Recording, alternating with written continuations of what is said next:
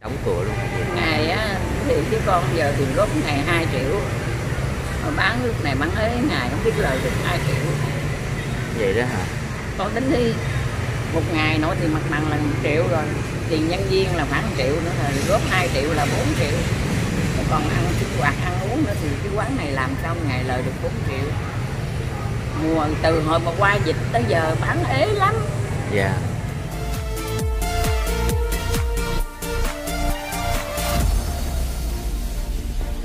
rồi mọi người ơi hôm nay à, à, mình chú sẽ- ờ, giới thiệu dịch mình luôn.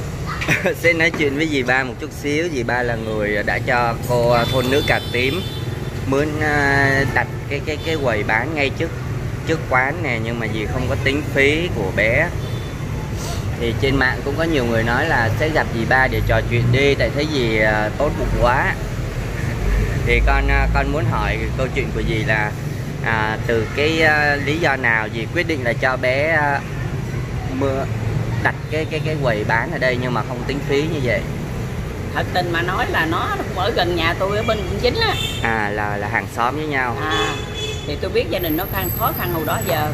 Dạ. Rồi tình cờ nó đi ngang đây nè, nó ghé nó, nó, nó nói gì ba ơi con có chỗ bán con ngồi Dạ. con bán ngoài kia kìa mà giờ người ta không cho con bán nữa.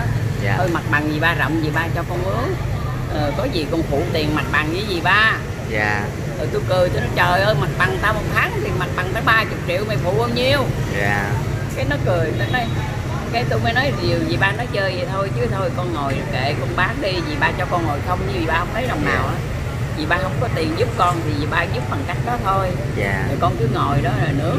Rồi chừng nào mà mưa thì con lui vô quán gì dạ. Đó nhưng mà sợ là quản lý đô thị nó không cho mình bán lấn chiếm thị đường nó không cho thôi chứ còn tôi không có lấy đồng xu nào của nó. Dạ. Nhưng mà dì có lường trước là nếu mà mai mốt đông khách quá thì nó ảnh hưởng tới công việc của dì hay không? Cái đó chấp nhận. À dì chấp nhận. Mình đã một khi giúp người ta thì mình không có tính toán. Dạ. Gì không có tính toán chuyện đó. Tới đâu thì tới.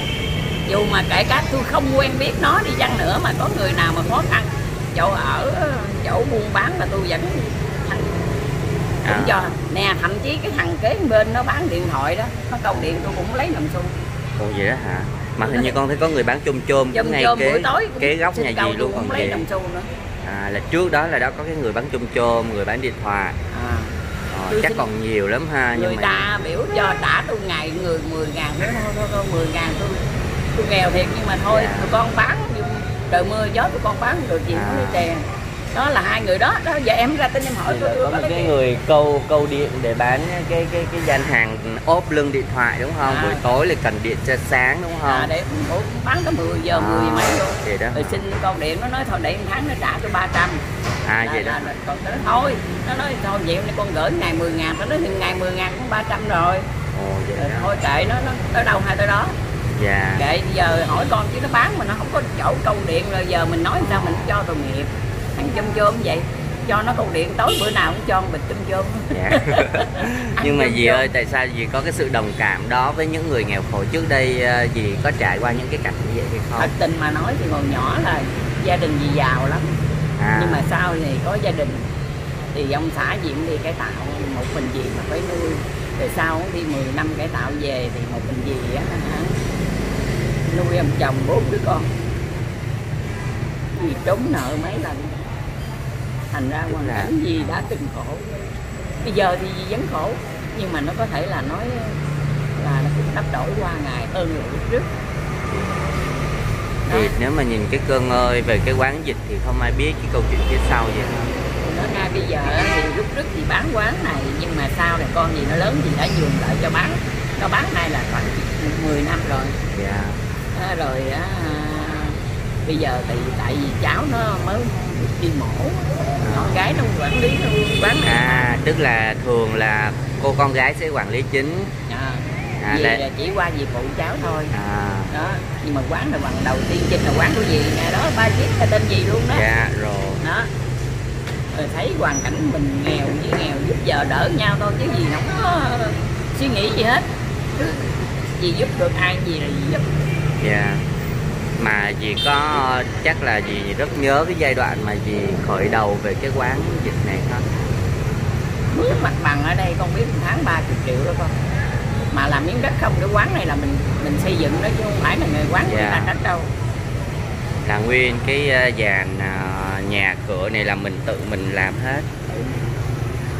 Là ở đây mười mấy năm rồi đó gì hả?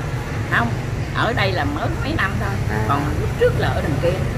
Dạ. Cách đây vài căn là cũng làm Đó mặt bằng luôn hả gì à, đó lúc đó là nhà của dì. Dạ.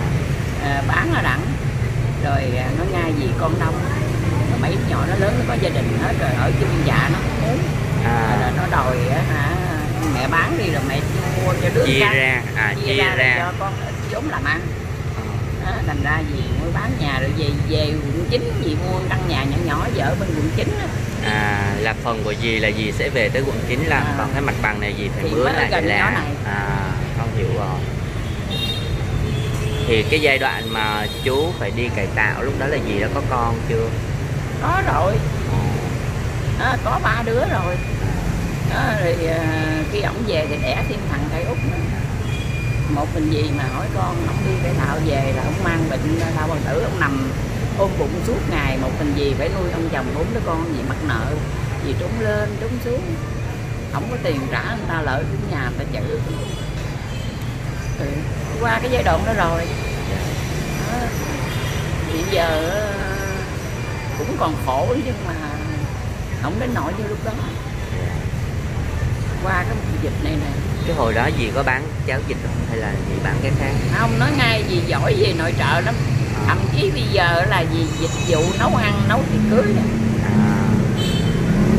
vậy là chắc hồi trẻ là dì làm cái dịch vụ đó hả? Nói ngay hồi đó thì cha mẹ gì giàu gì đi học cứ, cứ ờ, vô đại học luôn mà. À. Đó. Đầu đó gì đậu tú tài đôi đó ta không biết bây giờ là lớp mấy. Dạ tú tài rồi đô ờ, vì ờ, cha mẹ giàu cứ đi học buổi còn buổi thì học nấu ăn nấu này nọ nọ kia. À là học nước công gia chánh à, để thì thành ra với lại gì có cái thiếu gì nội trợ thành ra vì hồi lúc trước còn nhà cũ đằng đó gì có mở dịch vụ nấu ăn gì nấu đám cưới đắt à vậy hả? nhưng mà từ hồi gì qua quận chín tới giờ gì không có nấu được. Dạ. Vì mấy- vì già rồi mấy nhỏ nó thấy gì cực quá nó không cho gì làm. Dạ. Thì ờ, cái ờ, cái quán của mình ờ, trong thời gian qua cái mùa dịch á thì nó có gặp khó khăn gì không gì trời ơi khó khăn mắc nợ luôn chứ đừng nói. Hả? Tiền mặt bằng hai tháng 60 triệu có tiền trả. Chủ quán la quá chừng luôn. Còn phải mượn tiền góp giờ còn phải tiền góp vẫn còn trả tiền hai tháng đó mình đóng cửa luôn. Ngày á thì chứ con giờ tiền góp ngày 2 triệu. Mà bán lúc này bán ấy ngày không biết lời được 2 triệu. Vậy đó hả? Con tính đi một ngày nổi thì mặt bằng là 1 triệu rồi tiền nhân viên là khoảng 1 triệu nữa rồi góp 2 triệu là 4 triệu. Còn ăn sinh hoạt ăn uống nữa thì cái quán này làm xong ngày lời được 4 triệu? Mùa từ hồi mà qua dịch tới giờ bán ế lắm. Dạ. Ờ, mọi người nhìn mọi người tưởng cái quán cái bảng hiệu lớn thì thì tưởng cũng có đồng ra đồng vô cũng không có chắc là không có nợ đâu. Ai ngờ gì cũng đang còn trả tiền góp trả tiền góp mà còn có lòng hảo tâm giúp người Đấy, xung quanh. Kệ nó mình à, mình cứ làm phước thì được được phước thì thôi. Dạ. Chứ mình không gì không có tính toán gì đâu. Dạ. Đó, kệ nó con cháu mà nó còn nhỏ mà nó khó khăn thì cái nào mình giúp được thì giúp. Thì mấy bữa nay youtube lại nhiều ấy thì ờ, thì dì thấy có hơi phiền chút xíu nào không thì sao? Không gì không phiền đâu. Chỉ Dạ. cần cần cầu mà tôi thật tình gì nói đó. Cầu Dạ. con quay cho nhiều lên mạng nhiều đang có những mạnh thường quân mà người ta tốt bụng giúp đỡ cho cháu. À nó dạ. mà được qua cái khó khăn này là gì mừng? Mừng cho nó? Dạ. Cái gì không nghĩ là tới tụi con tới đây mà phiền gì gì không ngại đâu. Dạ, dạ, thậm chí dạ. nếu mà phiền tao đâu có làm thùng trà đá để cho tụi bay uống.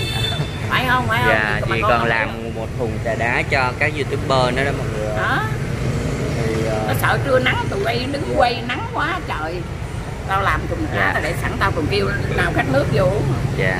Mà chắc là dì à, thấy bé cũng là người tốt người Không, có lòng tốt hay gì đó thì dì mới giúp đúng không? Dạ. chứ nếu nó bà trợ ăn no mà cờ bạc không mắc nợ mắc nần rồi vậy tao khỏi giúp tao dạ. với mày. Mình cũng nhìn người mình giúp gì đúng hả? rồi cái gì cũng vậy chứ. Thì dì à, biết bé từ khi nào? Trước nay mấy năm rồi. Dạ. ở gần nhà về gì dọn gì bệnh ở gần nhà rồi con cảm ơn à, dì ba chiến nha. Nếu mà mọi người có tới à, mua ủng hộ bé thì cũng nhớ ghé qua dì ba chiến gọi vịt. Thì ủng hộ dì ba chiến luôn. Quán lớn gì chứ nhưng mà dì cũng đang à, góp trả góp. Gọi là cái đó là vay ngân hàng hay là vay ngoài? Qua ngoài. Vay ngoài. Phải thế chắc. Dạ rồi con cảm ơn nha dì ba chín rất là nhiều nè. Mong là dì à, sớm có đông khách để tiếp tục duy trì cái cái công việc kinh doanh của mình tốt thôi con dì. có đi ngang ghé ủng hộ gì được dạ không? con cũng hy vọng vậy. Tụi con ờ, có đi ngang tụi con sẽ sẽ ủng hộ dì. Con cảm ơn dì nha